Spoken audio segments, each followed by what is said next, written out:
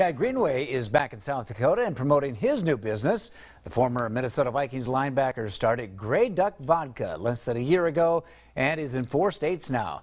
He stopped by the Hy-Vee on Marion Road to sign bottles for fans. Greenway says that he's really proud of how the drink is made. We buy our corn from a co-op in Benson, Minnesota. We make the vodka right there, so it's made from Minnesota corn. Um, it's really a nice, smooth taste, nice and clean.